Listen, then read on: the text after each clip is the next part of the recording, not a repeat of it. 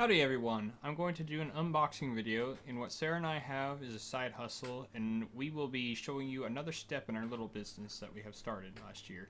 In, um, and it's business cards. We have ordered them off of Canva and uh, Sarah has done majority of the work on everything on here.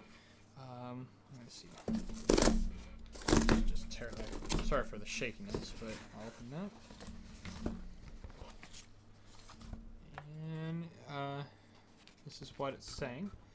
Canva, Canva stickers. I'm um, just saying it's always seem, seems impossible until it's done.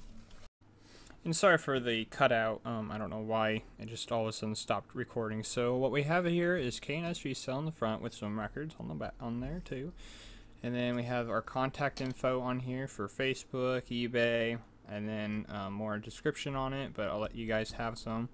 Um, but yeah, the one thing that I don't like about it is that the font on the back is super small. I don't know why.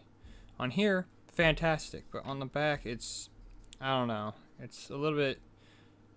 I mean, I waited a long time. It wasn't that expensive. It was only like ten bucks. So we'll definitely order more. I'm definitely gonna have some for the podcast, and uh, they did give us some stickers for it. Just basically, thank you, and we'll probably give those out to someone. I'll probably have them sent to the, the winner of the giveaway. But anyways, have a wonderful day, and peace.